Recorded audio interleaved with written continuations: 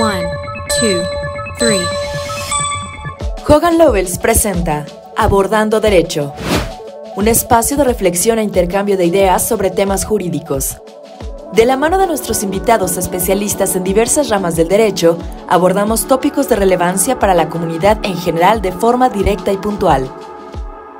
Bienvenidos y preparados. En este podcast vamos abordando derecho. En este episodio del podcast Abordando Derecho está dedicado a la firma Hogan Lovells. Tenemos como invitado especial a Omar Guerrero, socio director de la firma en México, quien nos hablará sobre la esencia de la firma, sus valores y su visión, así como las tendencias en la prestación de servicios legales y la forma en la que Hogan Lovells se mantiene a la vanguardia. Bienvenidas y bienvenidos.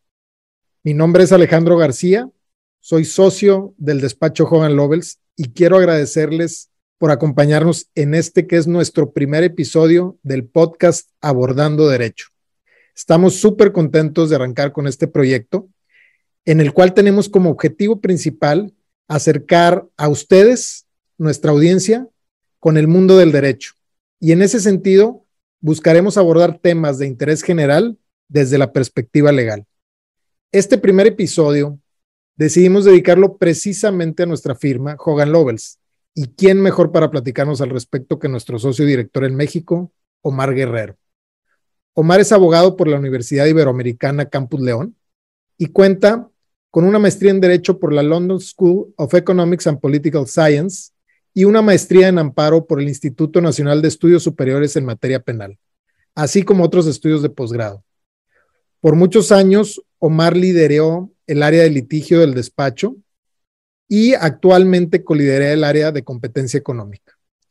En diciembre del 2020, Omar fue nombrado como socio director de la firma para las oficinas de Ciudad de México y Monterrey. Omar, bienvenido. Estamos muy contentos de tenerte en este primer episodio de Abordando Derecho. Muchísimas gracias, Alejandro. Un verdadero placer estar aquí contigo y con tu auditorio. Gracias, Omar.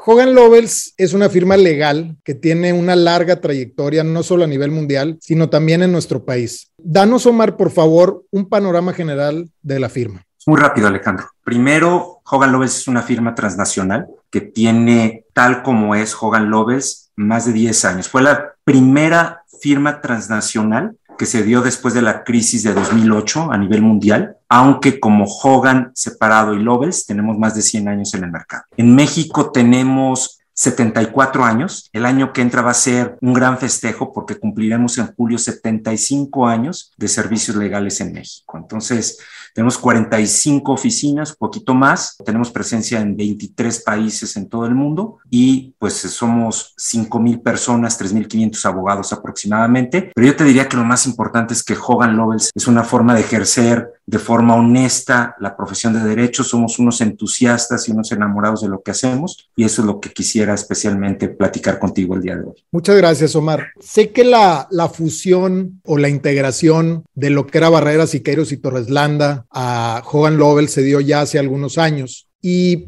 platícame un poquito, ¿qué fue lo que en aquel momento, yo recuerdo que tú estuviste en el comité de negociación, ¿qué fue algo que en lo particular a ti te impulsó a apoyar esta decisión de integrarse a esta firma global? Mira, este, por alguna razón en ese momento, estoy hablando hace nueve, diez años, varias firmas internacionales empezaron a acercar con nosotros a Barreras y Torreslanda. Y varias de esas entrevistas que tuvimos dijimos, oye, pues nosotros estamos pues, haciendo, creo que bien las cosas como despacho mexicano. Y luego llega Hogan Lovells, que es una firma con la que no habíamos tenido tanta interacción, y empezamos a estudiar quién es, y wow, nos enamoramos enormemente. Uno, te, doy algunos datos. Este, John Roberts, el actual presidente de la Suprema Corte de Estados Unidos, este, fue socio del despacho.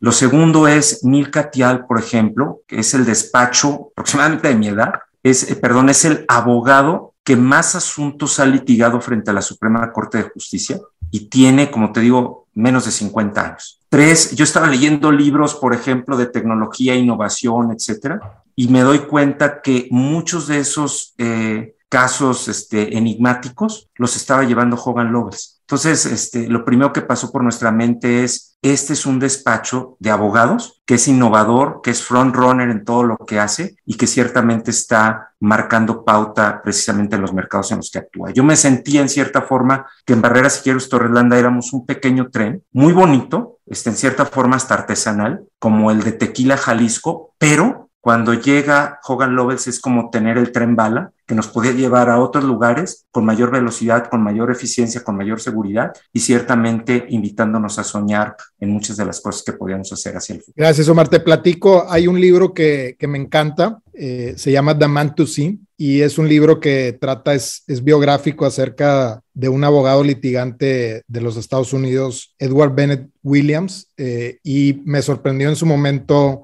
cuando, cuando lo leí, que este abogado muy famoso que llegó a ser dueño de los eh, Pieles Rojas de Washington, como se llamaban en ese entonces, también formó parte de lo que era en su momento Hogan Hudson. Eh, Omar, en, ese sentido, eh, me gustaría abordar un tema que me parece fundamental y que es precisamente el de los valores de una, de una organización. ¿Cuáles son, desde tu punto de vista, los principales valores de Hogan Lovells? Ya, primero, este, nada más te quería complementar, eh, porque es un libro muy bonito el que acabas de mencionar. Nada más déjame complementar algo más, porque creo que es parte de los valores que mencionas. Este, uno de los fundadores del despacho, Mr. Hogan, fue abogado personal de Ted Roosevelt, el presidente de los Estados Unidos. Entonces, eso te da idea del calibre de las personas que lo conforman. Y bueno, pues eso lo uno con la, con la pregunta que me haces. Los valores de, de, de Hogan Lovell son, pues primero, poner al cliente en todo lo que hacemos, al centro de todo lo que hacemos. Nosotros nos debemos a los clientes y es importantísimo precisamente darles los servicios de excelencia, de calidad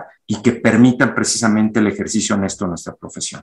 Lo segundo es, eh, somos un despacho, somos una firma global y entonces la cooperación la colaboración y el trabajo en equipo es fundamental. Tratamos de que más que haya personalidades, que las hay, hay muchas en todo el mundo, lo más importante para nosotros, creo yo, y lo que nos distingue es el trabajo en equipo. Este, otro de los valores fundamentales es que nos interesa hacer cuestiones que sean inspiracionales e históricas en los mercados en los que participamos. Entonces, invertimos en mercados estratégicos, nos metemos a hacer como te dije, front runners, y muchas veces nos equivocamos, naturalmente, pero nos gusta ser personas que intentan las cosas. Y este, dentro de los valores también muy importantes de la firma es, pues, evidentemente, responderle a la sociedad con lo que nos ha dado. Y entonces, pro bono, diversidad e inclusión, lo que le llamamos responsible business, es muy importante en todo lo que hacemos. Entonces, para nosotros, como el poema de Mario Benedetti, nos gusta la gente y nos gusta la gente que está comprometida y nosotros estamos comprometidos precisamente con nuestro entorno y evidentemente con nuestra gente. Sin duda, Omar, bastante relevante que los servicios jurídicos y la práctica profesional tengan como eje estos, estos valores que en Hogan Lovells están claramente identificados y que permean a través de la organización. Y justamente hablando de servicios legales, Omar, las necesidades de los clientes y lo que los clientes buscan de un despacho jurídico cambian de tiempo en tiempo. Incluso en una profesión como la nuestra, que pudiera parecer que no evoluciona al mismo ritmo que, que otras áreas o que otras industrias, eh, pues los clientes lo que hoy buscan eh, es, es, algo muy distinto a lo que buscaban a lo mejor hace 20 años. O la forma en que pretenden recibir el servicio es distinta. En tu opinión, Omar, ¿qué es lo que debe hacer en la actualidad una firma legal? ¿Cómo hace Hogan Lovells para alcanzar las expectativas de sus clientes? Pues mira, tú eres una parte bien importante de esto, Alejandro, y, y tú lo has vivido muchísimo. Yo creo que los servicios legales han evolucionado de una forma tal que hay un grupo de clientes que lo que buscan es que seas cheaper, faster and better, ¿no? O sea, quieren servicios legales de calidad, los quieren rápido, los quieren de forma oportuna, no quieren la respuesta perfecta, sino requieren la respuesta que en ese momento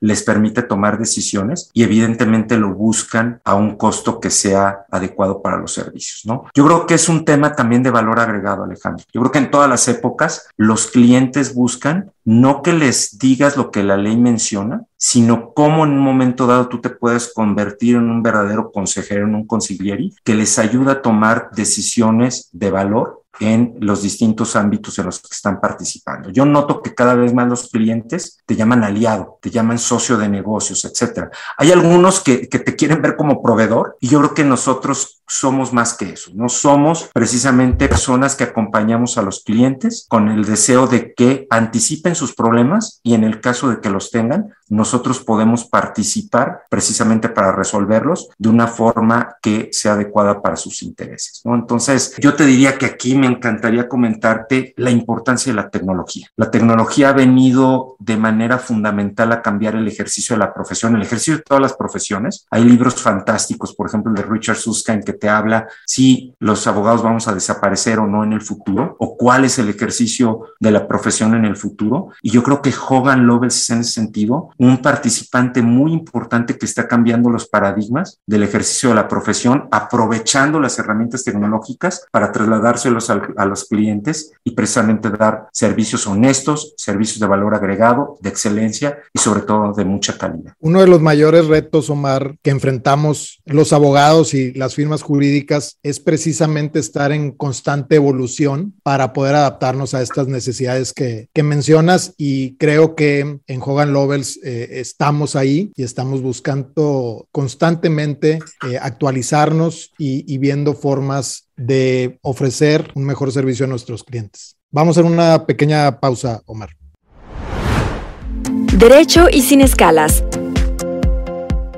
Omar, creciste y estudiaste Derecho en León, Guanajuato, y como estudiante de Derecho seguramente tenías sueños, de alguna forma visualizabas tu futuro en la abogacía. Eh, hoy eres socio director en México de una firma global, considerada una de las más importantes a nivel mundial. ¿Así es como te visualizabas? No, la verdad es que siempre dicen que todos los castillos que existen en la tierra alguna vez fueron castillos en el aire. Yo la verdad lo que quería era ejercer la profesión, eh, ser honesto, conservar valores y tratar de hacer las cosas bien. Jamás me hubiera imaginado que en 1993 iba a tener uno de los días más felices de mi vida, que fue aquella entrevista con Juan José Torres Landa, por la cual me dio la oportunidad de estar en este despacho que es mi vida y que ahora cumplo 29 años en él. Entonces me salí en realidad Alejandro de León porque litigaba. Tú que eres de Monterrey lo, lo has de saber que ahí todo el mundo litiga, ¿no? En Vargas, ves temas laborales, ves temas penales, etcétera. Yo sentía que no tenía la mejor el estómago para ese tipo de cuestiones. Empezaba a negociar el Tratado de Libre Comercio en 1991 con el presidente Salinas y yo dije, oye, a lo mejor hay otras oportunidades. Trabajaba con un abogado que venía de la, Escuela Libre de Derecho y siempre me hablaba de sus grandes maestros y dije, pues yo quiero tratar de intentarlo. No hablaba inglés, Alejandro, 21 años, terminé la carrera. Gané un amparo y nos fuimos a, San Diego. Ahí nos llegó, hasta ahí llegó el presupuesto y por seis meses este, estuve en una academia y trabajando acabé siendo barrendero de esa academia para terminar mis estudios y finalmente creo que logré hablar medianamente inglés, lo que me permitió en un momento dado aspirar a llegar a un despacho como Hogan Lovells, anteriormente Barreras y Quieres Torrelanda, y es lo que me encanta este despacho. Yo creo que es un lugar de oportunidades, un lugar donde puedes cristalizar tus sueños y donde en un momento dado, si tienes la persistencia, la tenacidad, el deseo, la pertenencia, el corazón, etcétera, yo creo que es un lugar donde estás rodeada de gente buena, de gente honesta y de gente talentosa que te permite alcanzar sueños que muchas veces ni siquiera te hubieras imaginado. Sin duda, Omar, me encanta escuchar tu historia, aunque que aunque la he escuchado en otras ocasiones, siempre encuentro cosas nuevas y de alguna manera me identifico porque, como tú sabes, pues tenemos muchos paralelismos y en, en, en cierto, en cierta forma nuestras historias son parecidas. Y, y, bueno, nos trajeron ambas a este destino que es Hogan Lovells, ¿no? Derecho y sin escalas. Omar, si te parece, me gustaría ahora plantearte algunos temas muy concretos para que nos puedas indicar eh, o compartir con nosotros cómo se viven esos temas en, en Hogan Lovells. Empecemos con diversidad e inclusión. Pues mira, yo creo que nuestra sociedad tiene un reto fundamental en ser más diversa y más, más inclusiva o incluyente. Yo creo que en México el principal reto es la inclusión de la mujer, aunque no es el único, y te puedo decir que tengo un enorme compromiso en lo personal y Hogan Lovells como institución de ser un espacio donde las personas, me gustaría categorizarlo así, puedan alcanzar precisamente sus sueños. Entonces, hay muchos programas que tenemos en Hogan Lovells. En México estamos evidentemente aprendiendo muchos de ellos, adaptándonos y este, temas que son de alguna forma más sensibles, más importantes en otras latitudes, no necesariamente tienen el mismo grado de intensidad en México, pero te puedo decir que hay un enorme compromiso especialmente de nuestras mujeres, a tal grado que en Hogan Lovells en México tenemos direcciones específicas que nos están ayudando, que nos están educando y que nos permiten precisamente devolver a la sociedad mucho de lo que nosotros hemos recibido y tenemos un enorme compromiso para ello. Hay programas increíbles como este de mentoría que tenemos hacia nuestras mujeres para efecto de que puedan crecer, desarrollarse y tener una forma de alcanzar sus metas precisamente dentro de nuestro despacho. Sin duda importante, Omar, y bueno, como muestra es eh, la reciente inclusión de, de una socia de nuestra socia Mari Carmen Fuertes, que eh, sin duda alguna nutre la, la, sociedad y nos lleva en ese rumbo precisamente al, al, que te refieres. Tenemos a Brenda Rogel y tenemos a Mari Carmen y tenemos consejeras como Cecilia Stafford, tenemos a Andrea López y, y lo más interesante de esto, Alejandro, y todas las que van a venir, porque el despacho está lleno de personas talentosas, de mujeres talentosas. Yo te diría que aproximadamente el 45-50% de nuestro personal son mujeres y a nivel profesional estamos en el 40% y yo creo que ese porcentaje va a seguir creciendo. Entonces, este, estamos muy orgullosos de todas las personas que conforman y especialmente de nuestras mujeres profesionistas. Van a dar mucho de qué hablar en el futuro cercano, vas a ver. ¿Qué nos dices, Omar, acerca del trabajo pro bono de la firma? Fíjate que pro bono es uno de los cinco ejes torales y objetivos de nuestro despacho a nivel mundial y ciertamente también en México. Ahí otra de nuestras mujeres, Lila Gasca, desde hace 20 años ha venido trabajando de forma muy, muy importante en esa área. Yo creo que somos de los despachos que más horas pro bono eh, otorgamos. Tenemos como política específica al menos dar cada uno de los eh, abogados y abogadas que integran Hogan Lovells 25 horas de nuestro tiempo al menos para trabajo pro bono y te puedo decir que la gran mayoría de los integrantes dan eso y mucho más. El gran reto es que cada vez más sea en asuntos que tengan trascendencia y le cambien la vida a las personas, porque muchas veces los asuntos que vemos son muy importantes, tienen trascendencia nacional, pero yo creo que los asuntos que más nos dejan tocados en el corazón son aquellos en los que les cambiamos la vida a las personas porque no tenían oportunidades de estar representados adecuadamente en México. Entonces yo creo que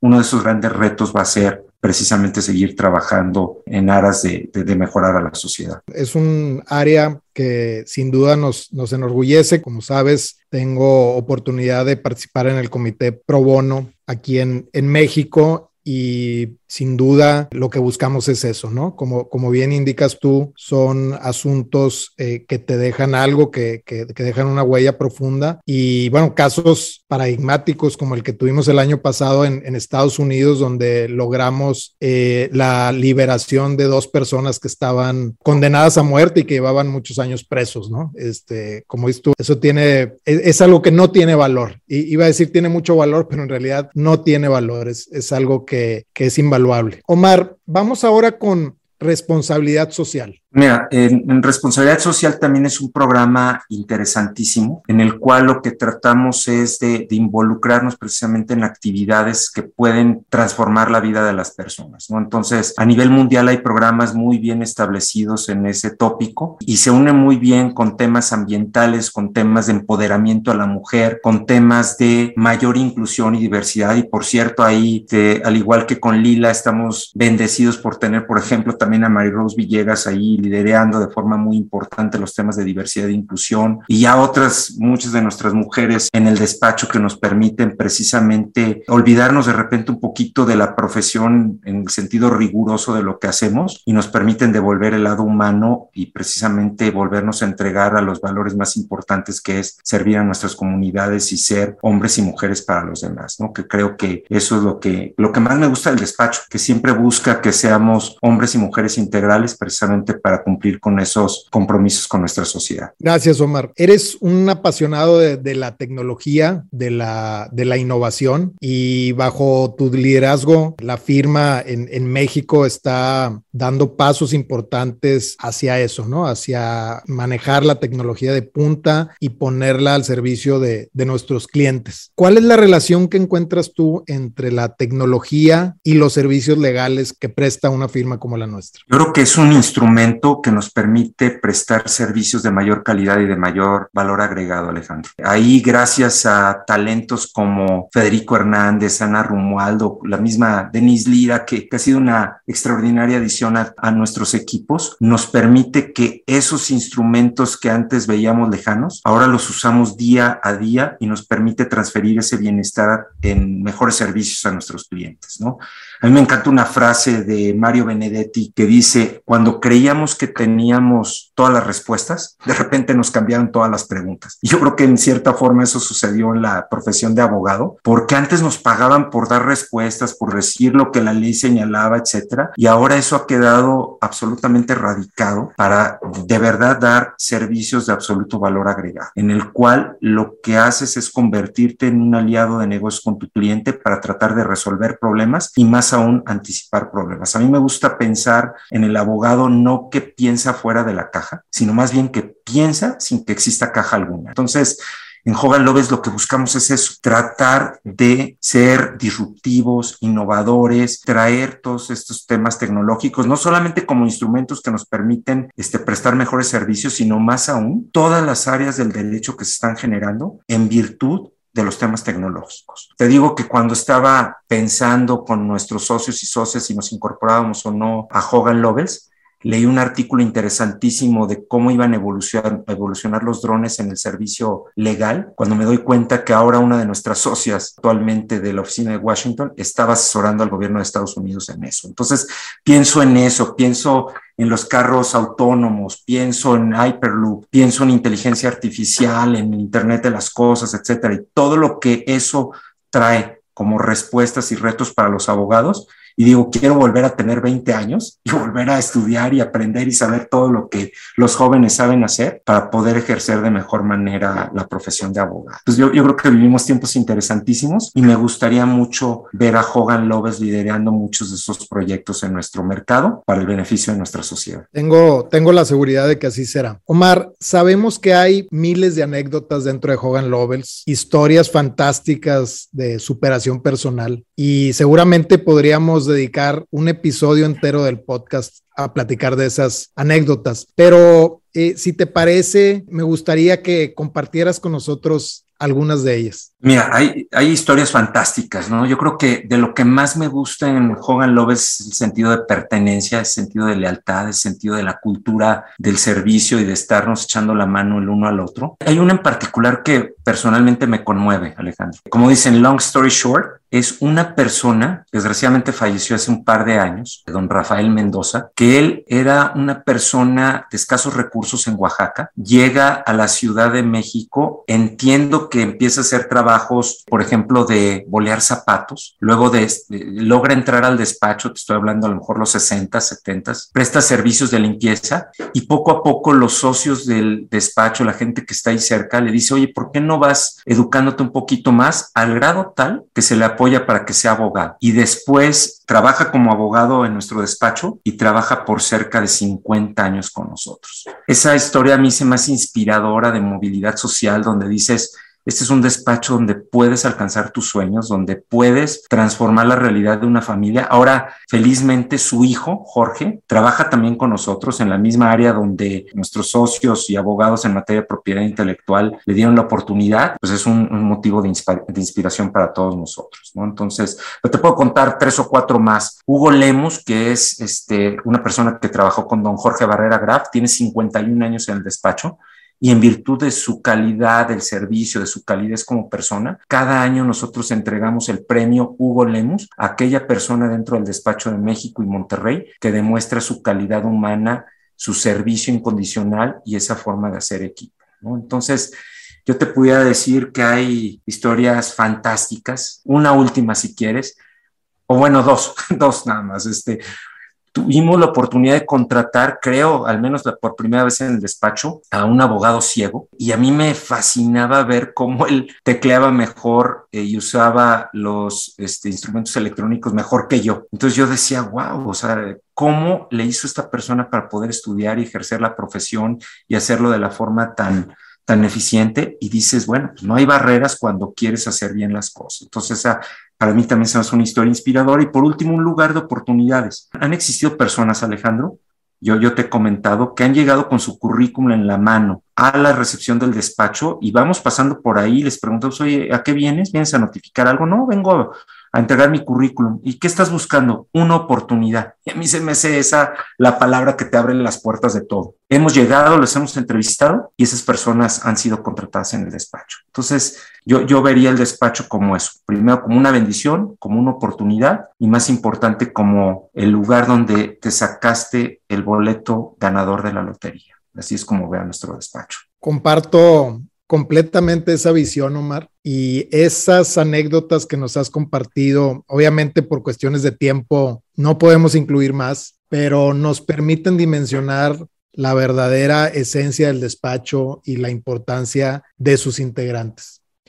Omar, para concluir, existen en el mercado legal muchas y muy buenas opciones de servicios legales. Es un mercado altamente competitivo. En tu opinión, ¿qué es lo que distingue a Hogan Lovells de otras firmas jurídicas? Eh, yo creo que muchas cosas. La primera es un trabajo genuino de equipo. Uno a uno, yo creo que hay mejores abogados en el mercado, pero te puedo asegurar que como equipo le podemos dar la pelea a cualquiera. Lo segundo es que hay una absoluta convicción del trabajo honesto en todos los sentidos, frente a nuestros contrarios, frente a los juzgadores o autoridades con las que interactuamos y con nosotros mismos, con nuestros clientes. O sea, si sabemos, le decimos sabemos, si no sabemos, estudiamos. Y si no somos la, solución adecuada para nuestros clientes, somos los primeros en declinar y decir, probablemente no somos la mejor solución para el problema o para el tema que te pudiera estar aquejando. También creo que de verdad nos entregamos. Yo me, yo me considero que o yo considero que en Hogan Lovells las personas que lo integran son sacerdotes del derecho. Estamos entregados de verdad a tratar de resolver el problema porque creemos que es la forma de justificar nuestra existencia. Entonces, ponemos al cliente de verdad en el centro de todo lo que hacemos. Tratamos de hacer y dar lo mejor en cada uno de los asuntos que tenemos y créeme que nosotros más que clientes, como fuente de ingresos, lo que queremos tener es la oportunidad de que los clientes conozcan lo que hacemos y que en un momento dado se conviertan aliados para toda la vida. Tenemos clientes que están con nosotros desde hace más de 50, 60 años y te puedo decir que es un gran orgullo ver cuando la justicia es realizada a través de los servicios que prestamos. Omar, quisiera agregar un tema que me parece muy importante y, lo conecto con tus primeras palabras donde nos decías que pues es una firma global con oficinas alrededor del mundo. Esta circunstancia en particular, ¿qué beneficio le puede otorgar a los clientes? Por ejemplo, a un cliente mexicano que pretende llevar a cabo alguna inversión o algún negocio en otra jurisdicción, ¿cómo Hogan Lovells se puede colocar como un aliado aprovechando esta estructura global que tiene? Creo que le has dado en el clavo, Alejandro. Desde el punto de vista estratégico, somos una verdadera plataforma global. Tenemos socios que, así como estoy platicando contigo, podemos platicar con nuestros socios en Estados Unidos, en Europa, en Asia, etcétera, y, y somos un solo equipo. Le dedicamos mucho tiempo estar conviviendo entre nosotros, interactuando, generando espacios de intercambio, no solamente académicos, sino de asuntos. Y yo creo que si yo fuera un cliente y estuviera buscando una firma que me pudiera dar una solución integral con proyección en distintos países, definitivamente escogería Hogan Lovells por todos los atributos que te acabo de comentar, pero distintivo fundamental, su uso de tecnología, su plataforma global y te pudiera decir la enorme calidez humana que encuentro en todos nuestros socios, socias e integrantes del despacho. Déjame darte, vas a decir, estás lleno de, lleno de anécdotas, pero yo creo que es por la edad, pero déjame decirte algo que me conmovió recientemente. Con este conflicto que, que, que sabemos que, que, existe a nivel mundial, este, a mí me, me de verdad me, me sacaba las lágrimas escuchar que polacos este, y otros, otros países circunvecinos estaban recibiendo familias enteras, de miles de personas ingresando. Bueno, pues me acabo de enterar, Alejandro, que un par de nuestros socios en Alemania les pregunté, oye, ¿vas a salir de vacaciones? Si vas a salir de vacaciones, ven por favor a México. Y me dijo, no, Omar, creo que en esta ocasión no vamos a salir de vacaciones en verano porque acabamos de acoger en nuestra casa a una familia de Ucrania, donde es una mamá con sus dos hijos porque el papá se quedó precisamente a pelear. Chihuahua, eso me, me rompe el corazón, porque digo, son capaces de darse a personas que no conocen. Imagínate si son capaces de hacer eso en la vida personal, que no pueden hacer nuestros socios desde el punto de vista profesional. Eso es Hogan López para Muchas gracias, Omar. Completamente inspirador. Agradecemos, Omar, tu tiempo y que nos hayas compartido tu pasión por esta profesión tan maravillosa. Sabemos el esfuerzo que hay detrás y estamos seguros de que bajo tu liderazgo, Hogan Lovell seguirá brindando servicios de excelencia y adaptándose constantemente a las necesidades de nuestros clientes. Esperamos desde luego que no sea la única vez que nos acompañes. Agradecemos también a todos ustedes por acompañarnos en este episodio. Esperamos sinceramente que les haya gustado. Estén pendientes del próximo episodio donde abordaremos otro tema. One, two. Gracias por acompañarnos en este episodio Abordando Derecho. Los invitamos a suscribirse y seguir nuestro podcast en su plataforma de preferencia. Nos escuchamos en el próximo episodio. También nos pueden encontrar en nuestra página web hoganlovels.com, en Twitter como Hogan Next y en LinkedIn como Hogan México. Hasta pronto.